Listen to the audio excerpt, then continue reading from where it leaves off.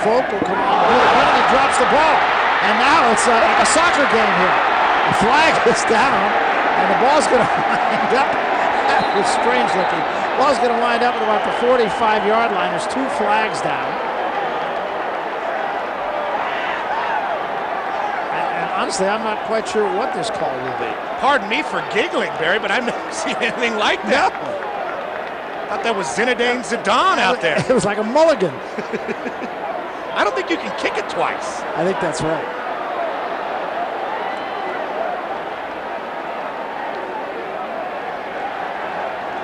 Well, it's a call I've never seen, but it's going to go against Arizona, and it's going to be ASU's ball. They're not going to have it in excellent field position here. It's a bad snap to begin with. Actually, not too bad. No, right in the hands of Folk, and then right off the face mask, and then he dribbles it. Yeah. he takes a pretty big hit from Keegan Herring, the backup running back. That looked kind of cool. You know, I played a little soccer when I was six or seven years old before I could put the pads on. I don't know what that guy, is that illegal football downfield? Yeah, I, I, I don't understand what the ref is saying because his mic is off, but I, I, I don't think you can touch it twice with your feet. I've never seen that before in my life. I.